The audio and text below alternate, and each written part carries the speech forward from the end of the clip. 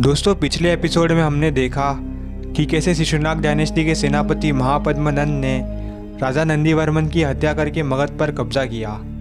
अगर आपने वो वीडियो नहीं देखा है तो उसका लिंक आपको डिस्क्रिप्शन में मिल जाएगा। आप पहले ज़रूर से उस वीडियो को देख लेना।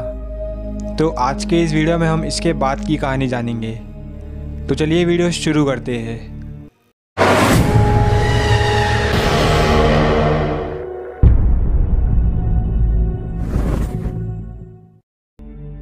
शिशुनाग डायनेस्टी के अंत के बाद, मगध में महापद्मनंद ने 329 BCE में नंदा डायनेस्टी की स्थापना की।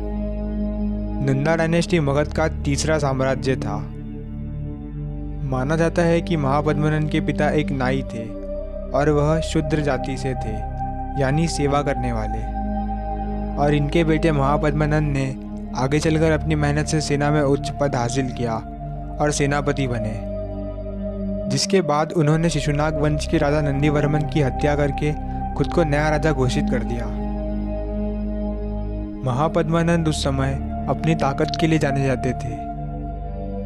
महापद्मानंद ने कलिंग, जो कि आज का उड़ीसा है, उसे जीतकर एक राज्य की उपाधि धारण की।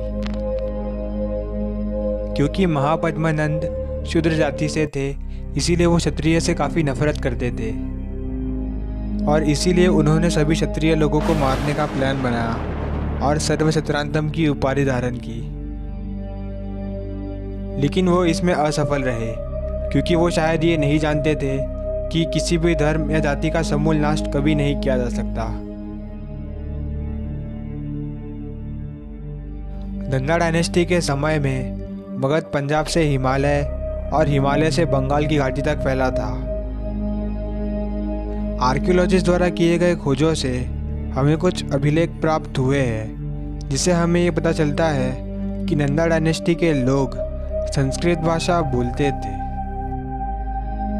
नंदा डायनेस्टी के समय में लोगों के आर्थिक जीवन का मुख्य व्यवसाय फ़ार्मिंग और व्यापार था। महापद्मनंद के बाद नाम आता है उनके बेटे धनानंद का, जो कि एक बहुत ही अहंकारी और अयोग्य शासक था। और हमेशा ही शराब के नशे में रहा करता था। धनानंद ने उस समय सभी छोटे बड़े चीज़ों पर टैक्स लगा रखा था और इसीलिए वहाँ की सारी प्रजा भी दुखी थी। धनानंद हमेशा ही शराब और अहंकार के नशे में डूबा रहता था। लेकिन इसी समय के दौरान ग्रीक का शासक अलेक्जेंडर, यानी सिकंदर, सारे विश्व को जीतता हुआ अब भारत की ओर बढ़ रहा था। और तभी इस बात का पता तक्षशिला के आचार्य चाणक्य को चला। फिर इसके बाद कैसे इन्होंने अपनी कूटनीति से भारत को बचाया, ये हम जानेंगे अगले एपिसोड में।